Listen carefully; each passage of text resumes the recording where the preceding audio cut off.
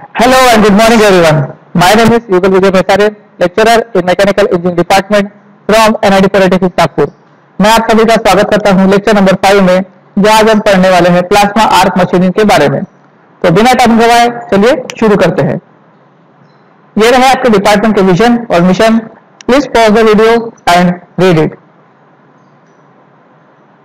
I hope आप सभी ने इसे रीड कर लिया होगा। So summary of previous lecture हमने पिछले लेक्चर में पढ़ा ईसीएम प्रोसेस के बारे में, और आज हम पढ़ने वाले हैं प्लाज्मा आर्क मशीनिंग के बारे में, और ये रहे आपके प्रोग्राम आउटकम्स, ठीक है? तो हम शुरू करते हैं प्लाज्मा आर्क मशीनिंग। अब इसका नाम प्लाज्मा ही क्यों पड़ा? सबसे पहले तो हम ये देख लेते हैं कि इसका नाम प्लाज्मा ही क्यों पड़ा? तो यहाँ पर ये जो प्लाज्मा है, इसका मतलब क्या होता है? सबसे पहले हम लोग ये देखते हैं। तो देखो, आप लोगों को पता है कि जब भी हम सॉलिड को हीट करते हैं, कोई भी सॉलिड मटेरियल को अपन हीट करते हैं, उसके मेल्टिंग पॉइंट तक तो क्या होता है, वो लिक्विड में कन्वर्ट होता है। फिर आप अगर लिक्विड को हीट करते हैं तो वो क्या में कन्वर्ट होता है, वो गैस में कन्वर्ट होता है, ठीक है? अगर हम उस गैस को या फिर उस एयर को 2000 डिग्री से ऊपर हीट करते हैं तो उसके एटम्स जो है, वो क्या होते हैं अलग अलग टुकड़े टुकड़े में बढ़ने लग जाते हैं, ठीक है? उसके एटम जो है अलग अलग टुकड़े टुकड़े में बढ़ गए। तो उसके वजह से क्या होता है वो आयोनाइज होना चालू हो जाता है। वो क्या होता है? आयोनाइज होना चालू होता है। मतलब तीन आयन्स में वो कन्वर्ट हो जाता है। एक पॉजिटिव आयन एक नेगेटिव आयन और एक न्यूट्रल आयन ठीक है? अगर हम उसको और उसको गर्म करते और उसको हीट करते उसका टेम्परेचर और बढ़ाते हैं, तीन हज़ार डिग्री सेल्सियस के भी ऊपर कर देते हैं। तो ये जो न्यूट्रल आयन है, वो खत्म हो जाता है। तो उसमें सिर्फ़ पॉजिटिव और नेगेटिव आयन बच जाता है। ठीक है? ये होते हैं क्या? Ionized ion any ionized gas को क्या बोला जाता है? प्लाज्मा तो हम लोग इस टेक्निक का यूज़ करेंगे। इसीलिए इसको कहा जाता है plasma arc machining process I hope सभी को इसके बाद पीछे की पूरी कहानी, राम कहानी सब समझ में आ गई होगी। है ना? तो चलिए आगे बढ़ते हैं। The components required and working तो क्या क्या कंपोनेंट्स हमको चाहिए प्लाज्मा आर्क मशीनिंग करने के लिए? ओके सबसे पहले हमें लगेगी प्लाज्मा गन जिसमें से हम लोग प्लाज्मा को वर्क करेंगे। है ना? उसके बाद आपको लगेगा पावर सप्लाई क्योंकि पॉजिटिव नेगेटिव टर्मिनल आपको लगाना पड़ेगा। इलेक्ट्रिसिटी सप्लाई करना है भैया। उसके बाद आपको लगेगा कूलिंग मैकेनिज्म ठीक है? और लगेगा वर्क पीस तो चलिए डायग्राम के थ्रू आपको समझ देता हूँ। इस डायग्राम को आप लोग अपने जहन में डाल दीजिए, ठीक है? सबसे पहले तो ये जो है यह है आपका टंगस्टन इलेक्ट्रोड ये क्या है? टंगस्टन इलेक्ट्रोड ठीक है? इसको मैंने क्या कर दिया, इसको कनेक्ट किया। किसके साथ कनेक्ट किया? डीसी पावर सप्लाई के साथ।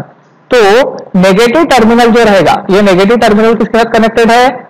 टंगस्टन इलेक्ट्रोड साथ कनेक्टेड है। तो नेगेटिव टर्मिनल है, इसलिए इसको हम क्या बोलेंगे? कैथोड आपको जितने भी प्रोसेस पड़ा है, उसमें क्या है? टूल जो है हमारा टूल वो टूल किसके? नेगेटिव टर्मिनल के साथ में कनेक्टेड रहेगा। और वर्कपीट हमारा किसके साथ कनेक्टेड रहेगा? पॉजिटिव टर्मिनल तो ये क्या वर्क कर रहा है अपना? एज ए एनोड ठीक है? इसको हम लोग किसके साथ कनेक्ट कर रहे हैं? नोजल के साथ। ये नोजल किसकी बनी होती है? कॉपर की। तो ये वर्क करता है एज अ एनोड ठीक है? अब दूसरी बात, हम लोग इसमें गैस का सप्लाई करते हैं। तो इस गैस में आप लोग कोई भी गैस सप्लाई कर सकते हो। आप मिक्सचर में सप्लाई कर सकते हो। आरेगॉन प्लस नियॉन ठीक है? Helium plus helium plus argon hydrogen plus argon generally maximum process के लिए हाइड्रोजन प्लस आरेगॉन इस प्रोसेस का हम, इस गैस का हम लोग यूज़ करते हैं। ठीक है? नेक्स्ट यहाँ पर देखिए आपको water cooled water cooled nozzle दिख रहा है। ठीक है? ये कूलिंग मैकेनिज्म के लिए यूज़ करेंगे। क्यों यूज़ करेंगे हम लोग इसको? क्योंकि यहाँ पर जो है बहुत ज़्यादा हीट प्रोड्यूस होने वाली है। अब उस हीट को अपने को कुछ तो कम करना पड़ेगा, वरना अपना मैकेनिज्म भी जल सकता है। है ना? तो इसीलिए हम लोग यहाँ पे क्या करते हैं? वाटर कूल्ड नोजल लगा देते हैं। ठीक है? आप देखते हैं इसका वर्किंग ये वर्किंग किस प्रकार से करेगा? जैसे ही हम लोग पावर सप्लाई ऑन करते हैं तो पावर सप्लाई ऑन करने के बाद क्या होता है? ये टंगस्टन इलेक्ट्रोड है, ठीक है? ये जो नेगेटिव टर्मिनल से लगा हुआ है, इसमें से क्या होगा जो, इसमें से क्या होगा? ये शुरू होगा। और हम लोग यहाँ से क्या करेंगे? गैस को सप्लाई करेंगे। गैस को कंटिन्यूसली सप्लाई करेंगे। अब जब हम गैस को सप्लाई कर रहे हैं तो क्या हो रहा है? ये जो इलेक्ट्रोड है, यहाँ से पॉजिटिव टर्मिनल और वापिस से सॉरी इलेक्ट्रोड से नेगेटिव टर्मिनल और वर्कपीस से क्या पॉजिटिव टर्मिनल ये क्या हो रहा है? इस गैस के साथ स्ट्राइक कर रहे हैं। जिसके वजह से ये क्या हो रहा है? कन्वर्ट हो रहा है प्लाज्मा में। किसमें कन्वर्ट हो रहा है? प्लाज्मा में।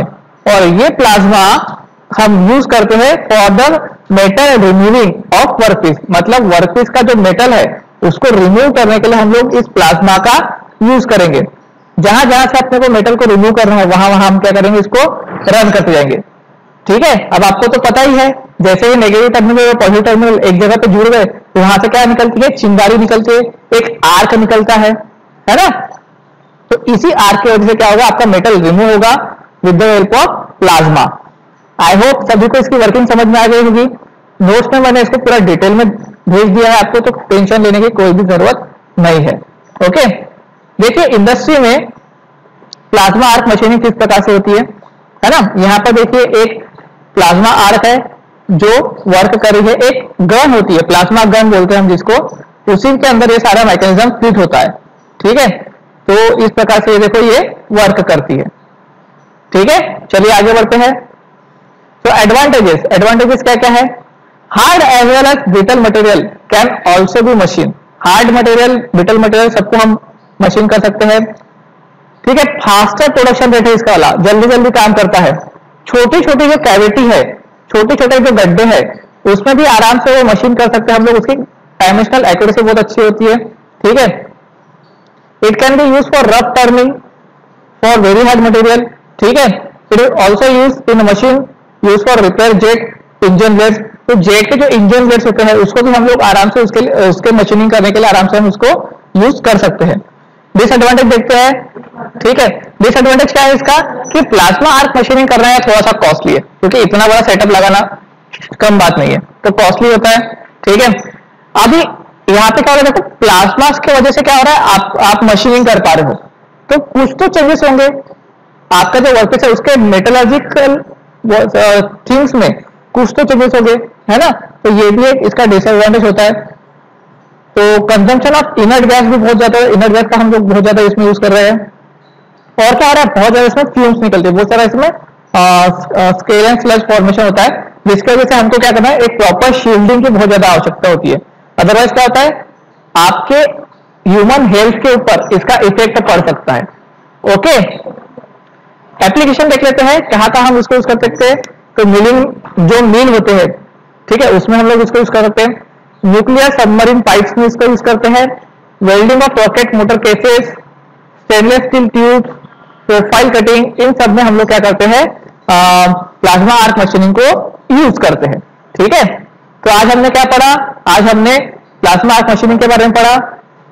उसको हम डिस्क्राइब कर पाए, उसका वर्किंग एडवांटेज डिसएडवांटेज उसका एप्लीकेशन इन सबको हम लोग यहाँ पे डिस्क्राइब कर पाए। और ये रहे आपके प्रोग्राम आउटकम्स जो कि अचीव होने वाले। ठीक है? क्वेश्चन किस तरह से पूछेगा आपको एमएसबीटी आपको क्वेश्चन पूछ सकता है कि describe the working principle of plasma machining process और इसके एडवांटेज डिसएडवांटेज एप्लीकेशन बताइए क्या क्या होते हैं, है ना? तो that's all from today's lecture thank you मिलते हैं अगले लेक्चर में एब्रेसिव जेट मशीनिंग प्रोसेस के साथ। तब तक के लिए keep learning happy learning bye bye